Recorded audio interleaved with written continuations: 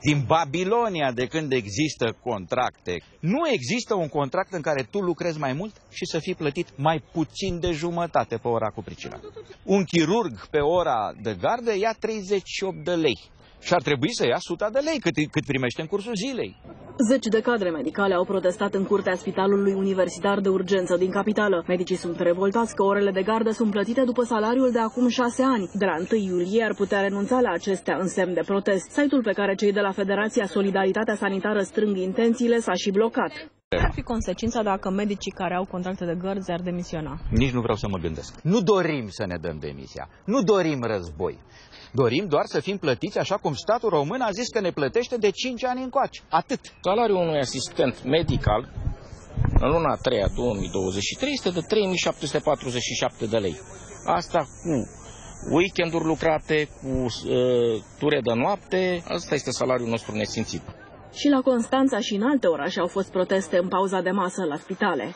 Valoarea indemnizației de hrană este la 9 lei pe zi. Prețurile au crescut foarte mult. Protestatarii de la Solidaritatea Sanitară au în program declanșarea grevei de avertisment pe 27 iunie și greva generală de la 1 iulie. Ne-am dorit ca uh, să nu fie afectați pacienții. Și polițiștii sunt nemulțumiți că mai multe drepturile sunt încă raportate la salariile mult mai mici de acum peste 5 ani. Cer să fie aduse la zi, apoi prin viitoarea legea salarizării să fie rezolvate inechitățile din sistemul bugetar. Un agent de poliție are un salariu la crimă organizată de aproximativ 3500 de lei și lucrează cot la cot cu un procuror DICOT care are un salariu de aproximativ 16.000 de lei. Suntem extrem de atenți la, la aceste semnale care vin din partea sindicatelor, ca întotdeauna, și vom avea un dialog onest, deschis, cum am avut cu oricare federație sindicală. Pentru a face față tuturor solicitărilor sindicale, guvernul are nevoie de bani. O soluție anunțată deja de noul ministru de finanțe la audierile din Parlament ar fi eliminarea anumitor facilități și deductibilități fiscale. Unii economiști spun că măsura ar aduce la vistieria statului sute de milioane de euro.